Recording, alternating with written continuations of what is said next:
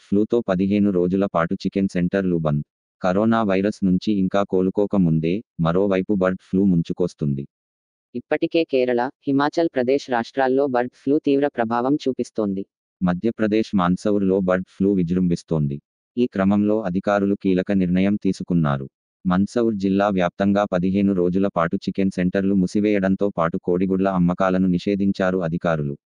మన్సౌర్ ప్రాంతంలో ఒకే రోజు వంద కాకులు చనిపోవడమే కాక. ఇక ఇండోర్ ప్రాంతంలో చనిపోయిన కాకుల్లో బర్డ్ ఫ్లూ వైరస్ని గుర్తించడంతో అధికారులు ఈ నిర్ణయం తీసుకున్నారు.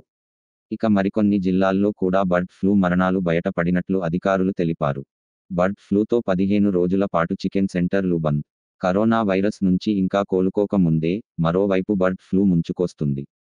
ఇప్పటికే కేరళ హిమాచల్ ప్రదేశ్ రాష్ట్రాల్లో బర్డ్ ఫ్లూ తీవ్ర ప్రభావం చూపిస్తోంది.